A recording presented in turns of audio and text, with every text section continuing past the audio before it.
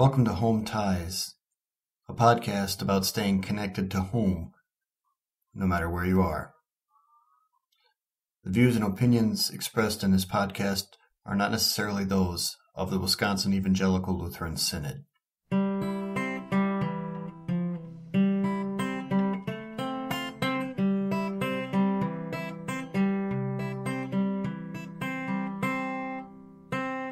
Some cultures place a high value on giving and receiving respect, especially to the elderly. In Malawi, it's just good manners to greet people by name, even if it means you take an extra minute or two to greet each and every individual in a large group of people.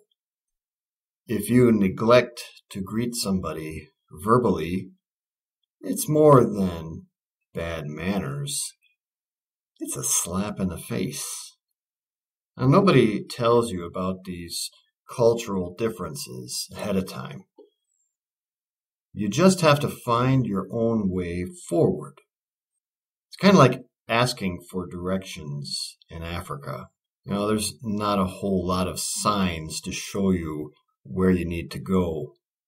It's not easy to navigate your way along unmarked dirt roads to go to villages that have no signs or names in remote areas. If you stop by the side of a road and ask somebody how you can get to a certain village, it's likely they'll give you direction, even though they may have absolutely no idea where you need to go. That happened to me on the way to uh, a women's meeting. I asked for directions and we just ended up going in exactly the opposite direction. And with each person we stopped to ask for directions, we kept getting further and further away from our destination. And that's because people don't want to make you feel bad. That's because people tell you what they think you want to hear. In a culture which values not putting people on the spot, you don't want to admit you don't know. Well, what about using Google Maps? Well, Google Maps don't always reflect the reality on the ground. Sometimes the uh, satellite images don't match up with what roads are drawn on the page. Or maybe it's an old image. Google Maps doesn't show you where a flood has washed out the bridge or where the rains have turned the road to quicksand. You know, I found it's much better and much more certain that you'll get to your destination if you pick up a hitchhiker from the place that you're trying to go and have him give you turn by turn directions. Even if it means he goes completely out of his way. They're happy to do it for you because again, they want to accommodate you. I don't think it's, it's no accident that there's a lack of good signage the lack of signage isn't accidental. You don't want to draw unwanted attention from either thieves or the tax revenue authorities. But maybe it's even more than that. If you don't know how to get somewhere, maybe you have no business going there in the first place. This all gets to the cultural difference of context.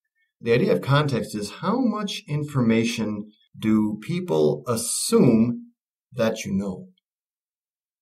Now, in Western cultures, we say are low context. In other words, we assume that nobody knows anything. So we try to make things as user friendly as possible. We provide detailed step by step directions with screenshots and and video presentations. And you do everything possible so that nobody feels left out, that everybody is able to actively participate because they know what the rules are. They know how the game is played. African culture, on the other hand, is what you'd call high context. And the assumption is that you already know everything. So there's no need to explain the obvious. And in the process make your lack of understanding painfully obvious to everyone. So let's talk about this for a minute and show how difference between high context and low context is expressed in a church setting. Um, in the United States, church websites are built for anyone. Directions and time of service are very clearly stated on the front page of the of the website. Contact information is there, the email, phone number of the pastor. There are samples of uh, sermons that have been presented. There's a detailed explanation of what you can expect in a service and even what clothes are appropriate to wear. And so anybody, even if they've never been to a Lutheran church service before, can go and visit that worship service and feel like they fit in. Now, in Malawi, you visit a church not because you found it on a website, but because a friend or a relative personally invited you. At the conclusion of the service, you are asked to stand up, to state your name, and where you're from. In the United States, you can imagine if people did that to visitors, some people might think that's a little creepy and an invasion of privacy. But here in Malawi, it's a way that the group can formally give honor to the visitors. And I think it's true that in both the United States and in uh, Malawi, people want to feel like they belong. In the United States, we give the visitors the information they need so that they can figure out what's going on by themselves. In Malawi, you avoid drawing attention to the information that visitors don't know. And there's very few directions that are offered during the service. I can tell you, uh, my wife and I have visited uh, churches in remote areas any number of times here in Africa, and we are always offered a place to sit in the very front row of church. It's a place of honor, to be sure, but it also assures that it's a place where no one else in that congregation has to come near to us and interact with us, which is a way of them preserving their own comfort level, I imagine.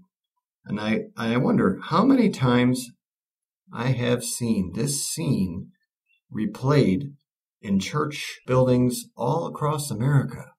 When you have people who are obvious newcomers sitting in a corner by themselves, and in the meantime, I've seen my members talking in huddles by themselves leaving that couple all to themselves. I mean, even on Easter Sunday, people were unwilling to go up to strangers and greet them. Maybe you recall the Apostle Paul and his visit to the city of Athens in Acts chapter 17. A group of Epicurean and Stoic philosophers began to debate with him. Some of them asked, What is this babbler trying to say? Others remarked, he seems to be advocating foreign gods. They said this because Paul was preaching the good news about Jesus and the resurrection. Then they took him and brought him to a meeting of the Areopagus, where they said to him, May we know what this new teaching is that you are presenting? You are bringing some strange ideas to our ears, and we would like to know what they mean. The ancient Greeks were infatuated with novelty. In that way, they're very similar to Americans. The Greeks would give anybody an open mic. So when Paul began preaching about the resurrection of the dead in Athens, he must have sounded like an alien from another planet. After all, who would want their pure mind to be stuck back inside a filthy, rotting body of flesh.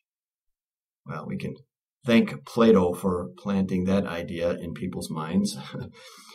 and yet, in spite of the strangeness of this teaching of the resurrection, these Athenians were curious to hear more from this Jewish rabbi. Maybe if for no other reason than to gossip about him and his strange message after he left their city.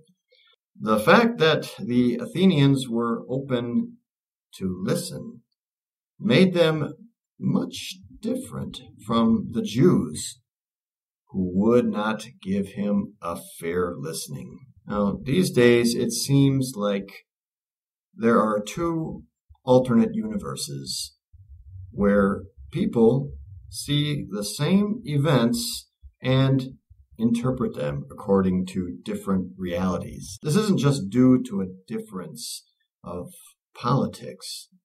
There's a reason why Christians and non believers have difficulty understanding each other. The gospel is foolishness and babbling to unbelievers without God's Spirit.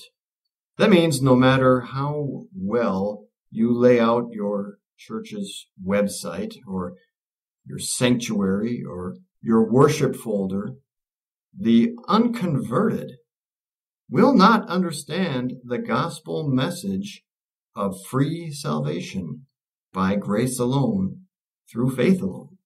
If you don't have the action of God's Spirit working in your heart, you will remain an outsider to God's kingdom. But the gospel is the power of God for salvation of both Jews and Greeks, Democrats and Republicans, Westerners and Easterners. Jesus came to expose humanity's universal and absolute helplessness to save ourselves from God's punishment. He also came to reveal the tender hearted love of his Father, who accepted his Son's death on a cross in exchange for our sins.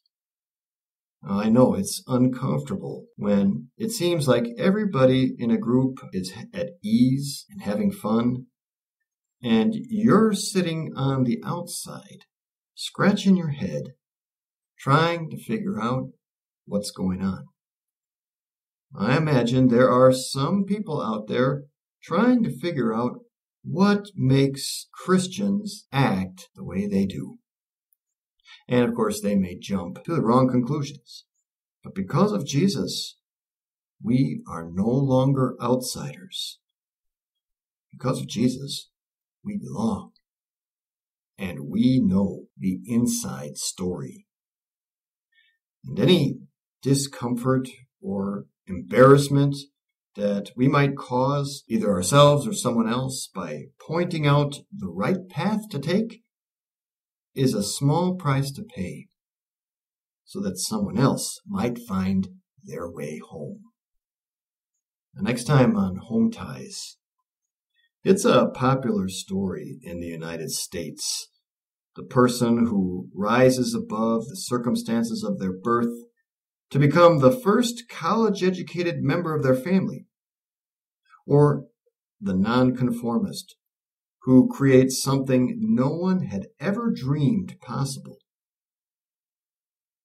Individualism is deeply embedded in American culture. But in other cultures, loyalty to the group comes first, and conformity to traditional values is rewarded. As the Japanese proverb says, the nail that sticks out gets hammered down. We'll see you next time.